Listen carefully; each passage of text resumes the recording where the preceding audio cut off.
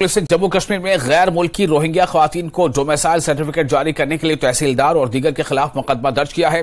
खातन के नाम का आधार कार्ड भी था। जम्मू कश्मीर पुलिस ने इस सिलसिले में पुलिस स्टेशन दक्षण में एफआईआर दर्ज की है। बताया जाता है कि डोमेसाइल सर्टिफिकेट सितंबर 2020 में जारी किया गया है और पुलिस ये जानने की कोशिश कर रही है कि इस खातून के कागजात कहाँ तैयार किए गए थे। इसमें जो भी कसूरवार पाया जाएगा, उसके खिलाफ कानूनी कार्रवाई की जाएगी।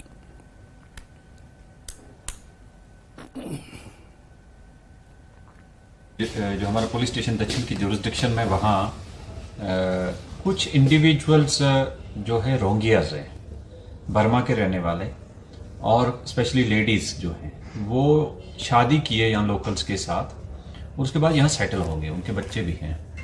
बट उन्होंने उनके जो हस्बैंड है, उसने अलॉन्ग विद द जो हमारा सेटअप है एडमिनिस्ट्रेशन का, उनको मिसलीड करके उनका एक इंडिविजुअल का डोमिसाइल सर्टिफिकेट बनाया तो डोमिसाइल सर्टिफिकेट एसेंशियली उसी को मिलेगा कि दवन हुई सिटीजन ऑफ़ इंडिया और वो जो डोमिसाइल सर्टिफिकेट बना गया हम उसको मान के चलते हैं कि फेक है। और नॉट एज पर रूल्स इसी कुछ इस चीज़ को सामने और मद्देनजर रखे we have registered one case F I R number twenty two two thousand twenty three police station Dachhan so so, इसमें जो फेक डॉक्यूमेंट की प्रोविजंस हैं section 467, 468, 471, 120 B IPC 420 professional golf tournament Jammu में शुरू हो चुका है। टूर्नामेंट का अफ्ताह लेफ्टिनेंट गवर्नर की मुशीर आर आर भटनागर और कमिश्नर सेक्रेटरी सकाफत और सियाहत ने किया। टूर्नामेंट में मुल्क के मुख्तलिफ़ हिस्सों से 126 खिलाड़ी हिस्सा ले रहे हैं। टूर्नामेंट को जे एंड के टूरिज़्म ने स्पॉन्सर किया है और professional golf tour of India के तहत जम्मू तवी गोल्फ कोर्स ने इसकी मेजबानी की है।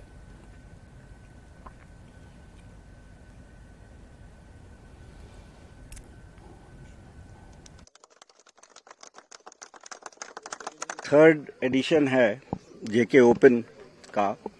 और ये दूसरी बार यहाँ जम्मू तबी गोल्फ कोर्स पे होल्ड किया जा रहा है। आप जानते हैं कि जे बदल रहा है और उसी क्रम में टूरिज़्म और गोल्फ दोनों का जो एक बहुत ही अट्रैक्टिव पैकेज है, वो भी जे के बहुत बखूबी ऑफ़र करता है। एक करोड़ साठ लाख टूरिस्ट अभी तक जे में इस वर्ष आ चुके हैं। और जो जे का नया बदलाव है, जिसमें शांति, प्रगति डेवलपमेंट ग्रोथ उसी के क्रम में आज यहाँ पर पीजीटीआई के साथ और जम्मू जे के टूरिज़्म के साथ यहाँ पर ये पीजीटीआई जेके ओपन होल्ड किया जा रहा है। इसमें देश के ही नहीं, बल्कि अंतर्राष्ट्रीय गोल्फर्स भी भाग ले रहे हैं। और ये निश्चित रूप से जो हमारी पहल है कि टूरिज़्म को बढ़ावा देने की और खेलों को बढ़ावा देने की, उन दोनों के लिए ये एक बहुत ही मील का पत्थर साबित होगा। स्पोर्ट्स में भी आपने देखा है कि कितना बल दिया जा रहा है और इंफ्रास्ट्रक्चर गाँव से लेकर पूरे यूटी लेवल और नेशनल लेवल तक का और बहुत से नेशनल और इंटरनेशनल टूर्नामेंट्स यहाँ पर होल्ड किए जा रहे हैं। और हमारे टीम्स हमारे स्पोर्ट्स पर्सन बहुत अच्छा कर रहे हैं। तो मैं बहुत बहुत शुभकामनाएँ देना चाहता हूँ जेके टूरिज़्म को पीजीटीआई को सिद्रा गोल्फ कोर्स को।